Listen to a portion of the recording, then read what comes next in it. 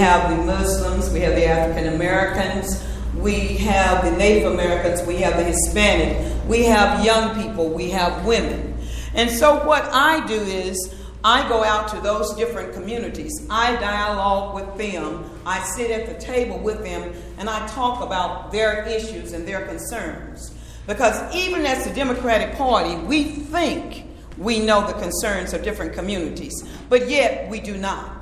Because sometimes you need to engage those individuals, those different groups, and let them have a voice and let them tell you what the issues are within their community. Because even within the Native American community, we found out for different tribes, there may be separate issues. Even within the Hispanic community, someone coming from Mexico to someone coming from Argentina, their issues are deep, different.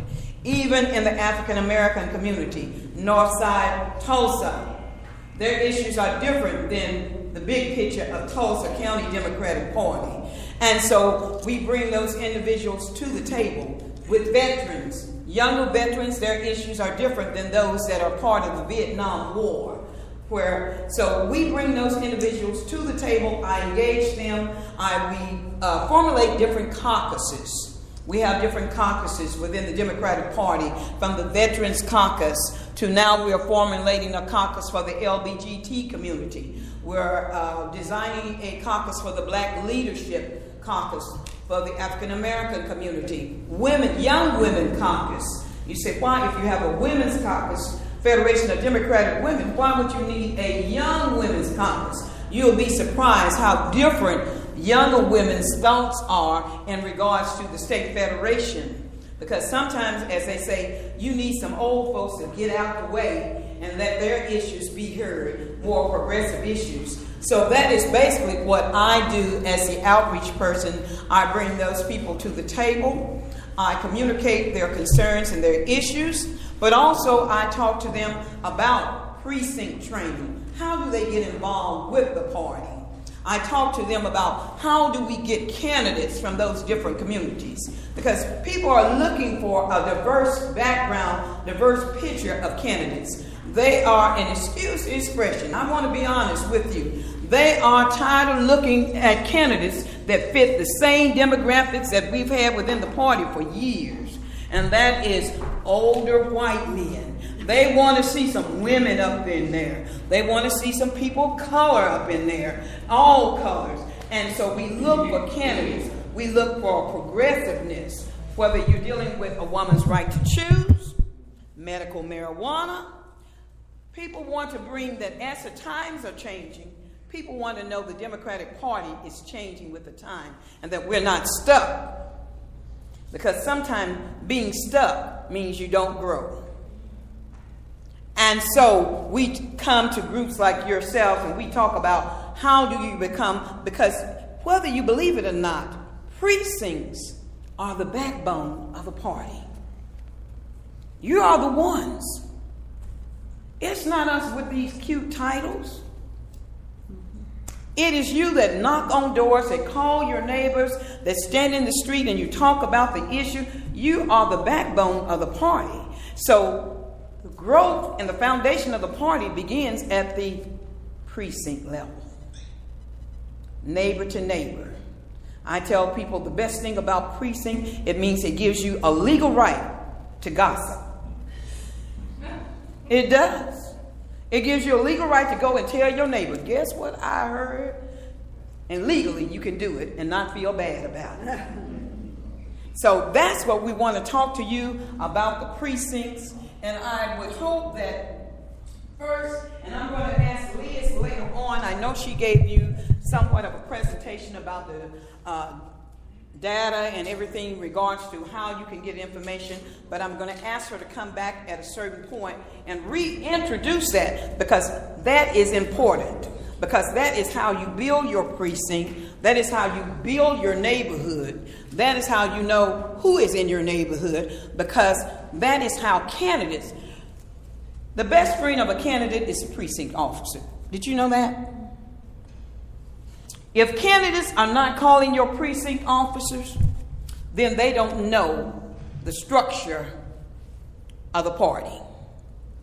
They should be knocking on your doors, finding you wherever you are at Circle K, 7 Eleven, and saying, I heard you my precinct chair. Because you're the ones that get out the vote and mobilize and activate people for them. They need you. You're the ones that tell them these are the issues you need to be standing on. Because they can say, well, education, but what about education? Do they know that they may be shutting down the school within your neighborhood? It's broad picture say education, but how do they connect? Do they know that one neighborhood might want charter schools and one neighborhood may not want it?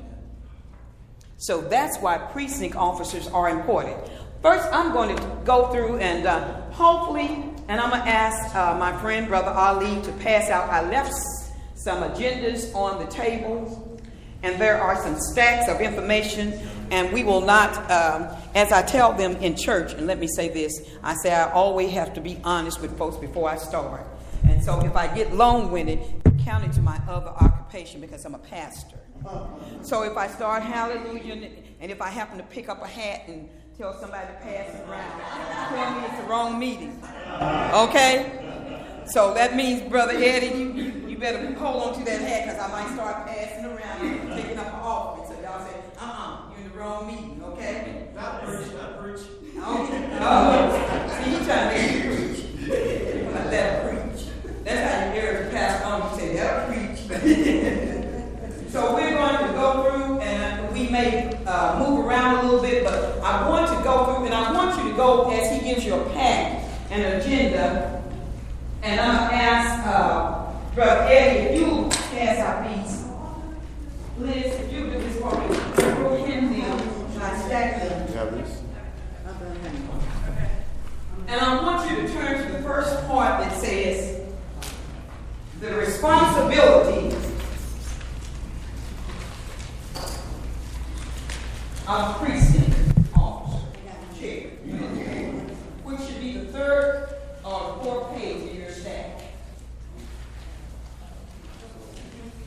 I'm not good at standing at a podium, so again, I, I want to move around. Again, as I'm talking, if you have a question, stop me. Don't just say, well, because I'm not assuming anything, and don't assume anything about me. If you have a question, I'm moving too fast or something, just say, wait, hold up.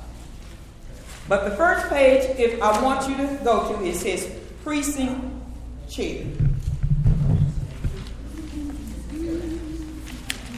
Let me say, first of all, the selection for precinct officers will begin in March of 2007, the official precinct meeting. But, there's a but.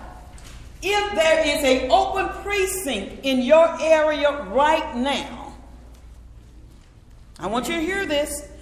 Someone, they passed out you a constitution and bylaws. That if there's an open precinct in your area right now, you can be appointed to that position. You don't have to wait till March.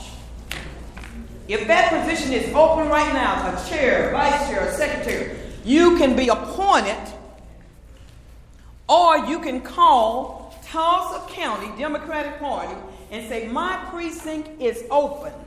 It does not have a chair. I want to fill that position. It can be done. When they say no, get your constitution and bylaws and say, up, up, up, wait a minute, wait a minute.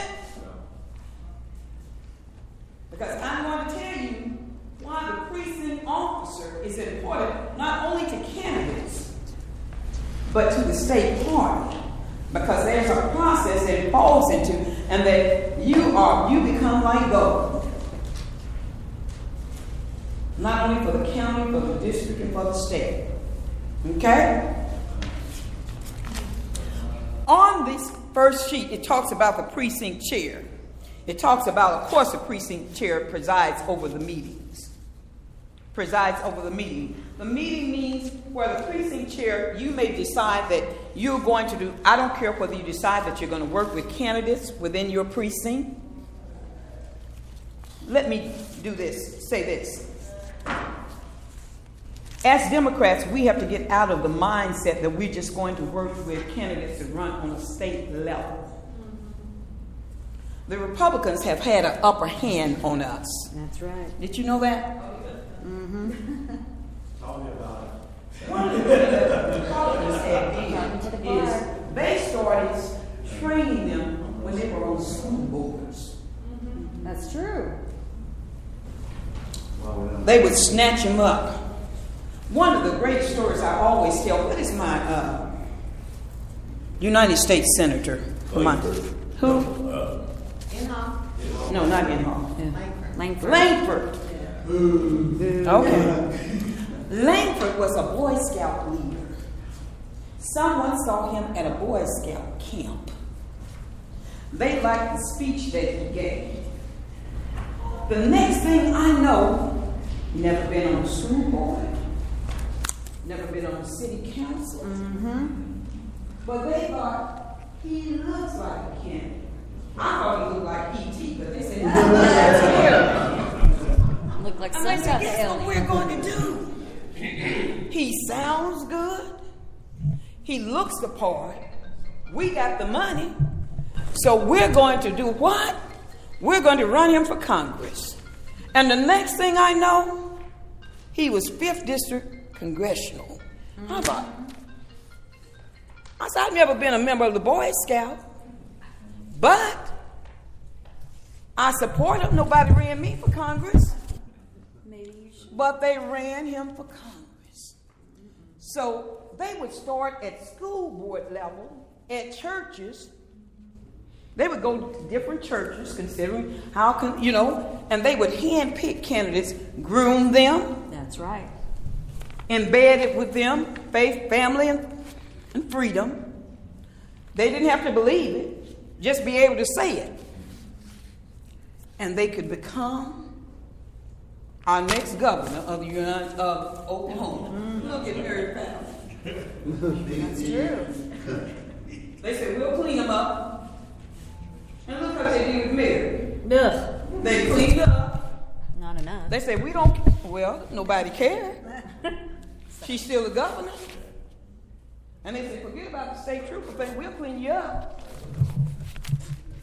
Make one name on it. So we have to begin start looking, and I tell young people when I go to high schools, don't do anything that will come back and haunt you. True. If you're intent on running for office, make sure now. So we have to start looking at city council races, school board races, and start looking at because some of our legislators in Oklahoma City started at our city council. True. And so we have to start looking at that level and not looking for just seasoned folks. We need to start looking at young folks. Mm-hmm. Because sooner or later, we're going to have to step back and let them take over. So we got to be willing to educate and inform them about what needs and the issues. So a precinct chair presides over the meeting. I don't care. if You can have a ice cream social. You might be good at baking cookies. You may be good at telling folks just to bring cookies. I can't bake cookies, but I know how to tell folks to bring me some cookies with macadamia nuts in them. And I'm Pacific. And I got to have lemonade. Don't bring no Dr. Pepper because my doctor said I can't have no more Dr. Pepper. But I'm good at delegating. A chair has got to be willing to delegate and not work themselves into a frenzy. So you say, Well, I don't want to be a chair. You got to be willing to say that I have a neighborhood and involve everyone in the neighborhood and realize that everybody, I don't care what their talent is, is special. I don't care if it's baking, whatever it is, bring them to the table. Even that person that gets on your last nerves and that always asks the question, you tell them at the right time, I'm going to say a key word. That means answer all the questions you can. Utilize everybody to their full potential. Okay? Then it talks about we're going to just, as you look through it, talk represent the